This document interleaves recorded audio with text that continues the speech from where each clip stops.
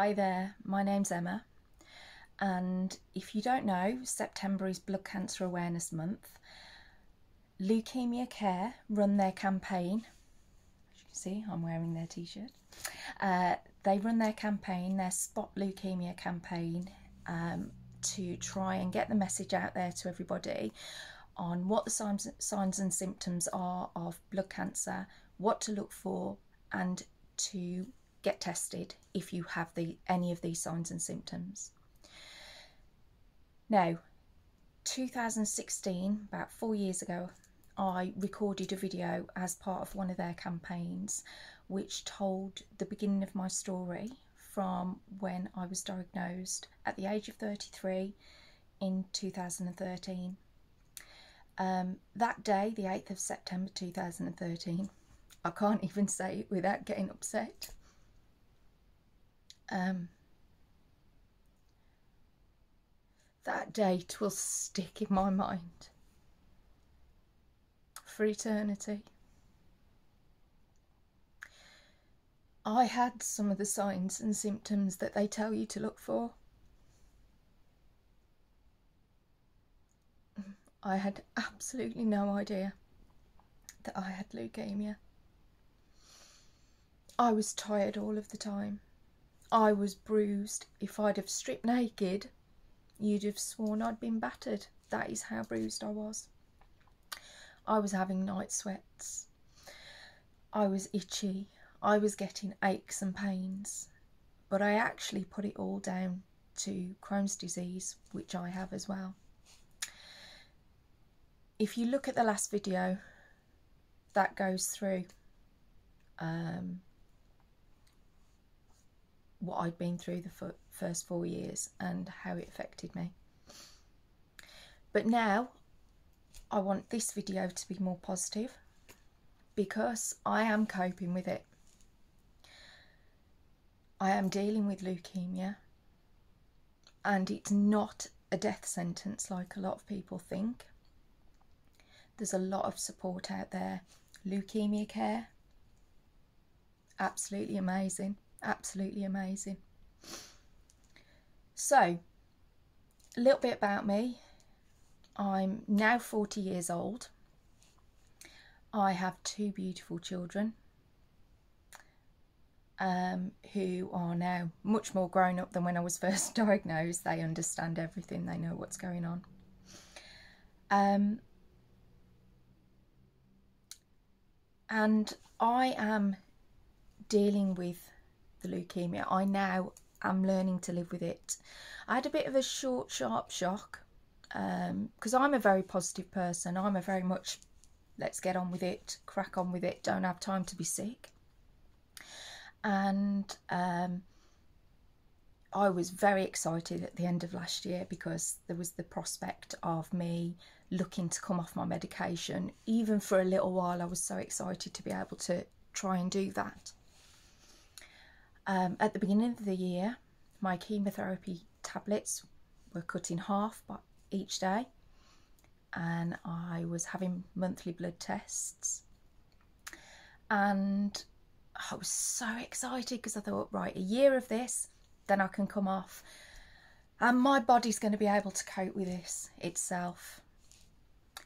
Less than three months later I got a phone call to say that they needed to put my medication back up to full dose my body wasn't coping on even half the medication Yes, it was upsetting. I won't say that I wasn't disappointed because I really, really was. However, it was a bit like a slap in the face because it was like, come on then, now, this is it. You need to help your body as well. Don't expect your body just to do everything for you. And it was a bit of a, a shock because I really, really did think that my body would be able to cope with it. But I haven't seen it as a negative. I've taken it as a positive and thought, right, you need to now help your body. So, yes, I still get tired, extremely tired. Yes, I still have aches and pains. Um, yes, I still get night sweats. To be honest, I'm not sure if some of that's to do with my age now, but we won't say that. Um, I have been helping my body. I have been coping with this because I had the realization that I need to work at this myself. I need to start really looking after my body because my body is trying its hardest to look after me and cope with this illness, as well as the Crohn's disease on top of that. So, I have started exercising more. And I know these are cliches. If you exercise more, you have more energy or people think they're cliches, they're really, really not. And hopefully, if you watched my previous video and watch this one now, you will see I hopefully look to you a lot healthier than I was then, or than I, you know, and that was just four years ago. I have much more energy. Don't get me wrong, I have to have the days where I still need to just stay in bed and sleep all day. I won't lie, I won't pretend that that doesn't happen because it does. But I've started exercising much more. I have started um, filling my body with more nutrition and working on my nutrition to really give my immune system, my energy, and my body a boost, which personally, I found that really, really, really helpful. I've got a lot of support. I really have, and I know not everybody has. This is why these guys, Leukaemia Care, are such, such a good um, contact for you to have if you're going through any sort of blood cancer.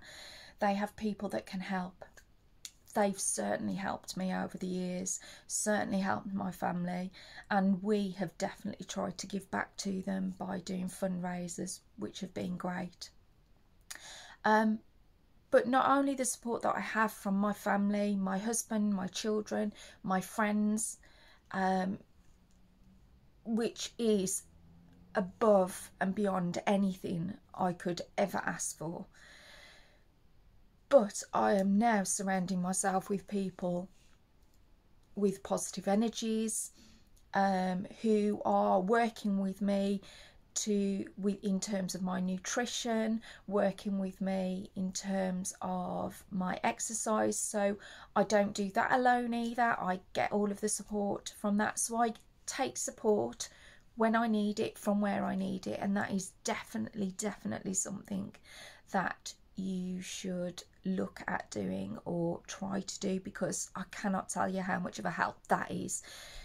It it's a lonely place in there. Um, nobody knows what is truly going on in your head. But if you have people at the right moments, it is a massive support. So, what what I'd like you to do, if I can appeal to you, is really start looking after yourself. Look after your body. Look after your mind. These times are really difficult at the moment. Nourish yourself. Get the support you need. What I will do, I will post the link to Leukaemia Care in the details below along with my original story. I will also post a link for the um,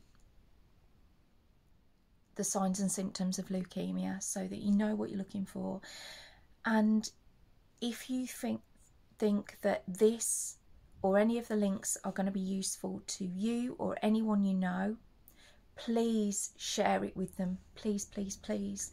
It's really important we get this message out there, and it's really important that everyone knows that there is someone that can support them as well.